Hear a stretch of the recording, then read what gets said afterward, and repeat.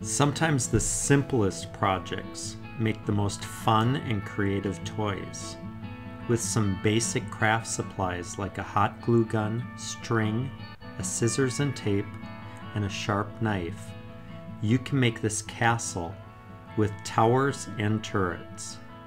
Here I recycled paper scraps, old shipping boxes, and cardboard tubes from paper towel rolls to make the walls and towers of the castle.